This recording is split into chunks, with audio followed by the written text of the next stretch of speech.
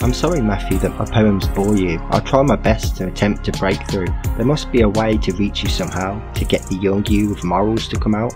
So often you're around on all of our pages, even if you're arguing, you're still engaging, boosting the videos to be seen by more, yet still stubbornly reluctant to really explore, still firmly in denial, saying that you'll never change. But so did every vegan once, they'll tell you the same. None of us really wanted to accept that we were wrong, or how we'd been sheltered or misinformed for so long. Everyone shows some resistance once upon a time, before they get it and their morals and actions align.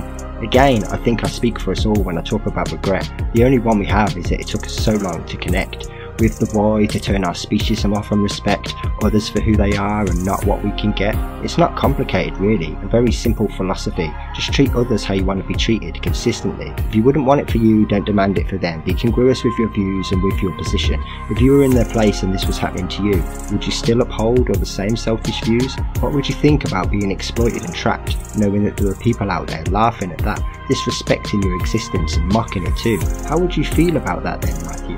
Would you still be as provocative in the face of oppression, or be as hopeless as those who you show no compassion? Let me tell you this though, so you can know it as truth.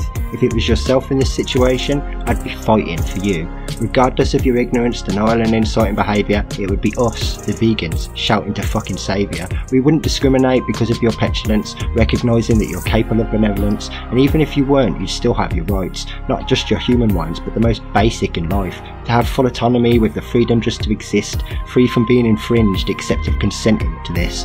Even if this was boring, I implore you please Matthew, think about it from the perspective of those victims of you.